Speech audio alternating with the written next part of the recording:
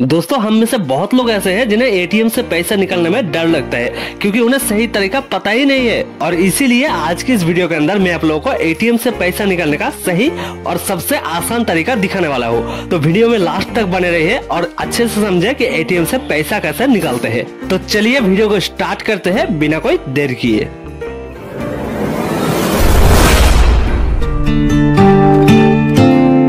दोस्तों एटीएम से पैसा निकालने के लिए सबसे पहले आपको एटीएम कार्ड लेकर किसी भी एक एटीएम के अंदर चले जाना है। और किसी भी एटीएम में जाने के बाद आपको कुछ ऐसा इंटरफेस देखने के लिए मिल जाएगा। अब यहाँ पर जो एटीएम मशीन है, उसके ऊपर आपको यहाँ पर मिलेगा एक स्क्रीन और उसके नीचे यहाँ पर आपको कार्ड डालने का जगह मिल जाएगा।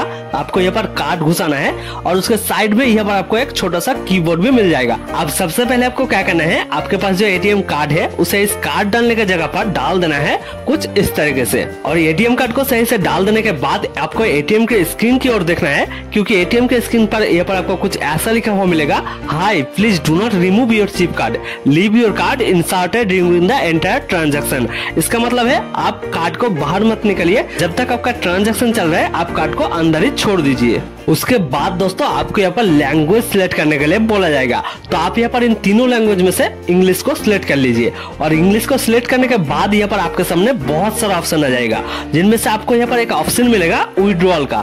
तो आपको यहाँ पर इस विड्रॉल वाले ऑप्शन पर क्लिक कर देना है। और विड्रॉल पे क्लिक करने के बाद दोस्तों, आपको यहाँ पर अमाउंट एंटर करना है, जितना रुपया आप निकालना चाहते हो एटीएम से। तो मैं यहाँ पर आप लोगों को दिखाने के लिए सिर्फ़ पाँच सौ रुपया निकालना चाहता हूँ, इसीलिए यहाँ पर पाँच सौ रुपया एंटर कर देता हूँ। और आप भी जितना रुपया एटीएम से निकालना चाहते हो, वो अमाउंट आपको यहाँ पर एंटर कर देना है। और अमाउंट एंटर करने के बाद आपको सिंपली इस वाले ऑप्शन पर क्लिक कर देना है। और यस पे क्लिक करने के साथ साथ दोस्तों, यहाँ पर आपको आपका एटीएम पिन एंटर करने के लिए बोला जाएगा।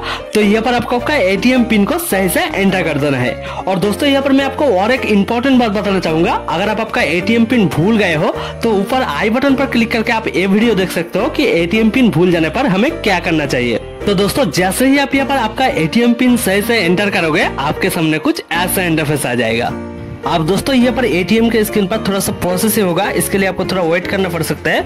और कुछ सेकंड वेट करने के बाद एटीएम मशीन के अंदर से पैसा गिनने जैसा कुछ साउंड आपको सुनाई देगा। और इसका मतलब है, अभी आपका पैसा निकलने वाला है इस जगह से। तो जैसे कि आप देख सकते हो कि यहाँ पर जो लाइट है, वो ब्लिंक करने लगा है। तो चलिए वेट कर लेते हैं। और ये देखिए दोस्तों, कुछ ही सेकंड के अंदर यहाँ पर मेरा जो पैसा है, वो निकल कर बाहर आ गया है। अब आपको क्या करना है, इस पैसे को यहाँ से उठा लेना है और पैसा उठाने के बाद एटीएम कार्ड को भी एटीएम मशीन से निकाल लेना है।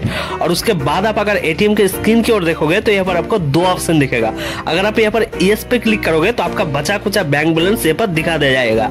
और अगर आप नो पे क्लिक करोगे तो आपका ट्रांजेक्शन यही पर कंप्लीट हो जाएगा। तो दोस्तों, यही था एटीएम से पैसा निकालने का सही और सबसे आसान तरीका। तो वीडियो अच्छा लगे तो वीडियो को एक लाइक करके चैनल को सब्सक्राइब ज़रूर कर लीजिए ऐसे इन्फॉर्मेटिव वीडियो आगे भी पाने के लिए। तो आज के वीडियो में बस इतना ही, मिलते हैं और एक न्यू वीडियो में। तब तक के लिए टाटा बाय बाय जय हिंद, जय भारत।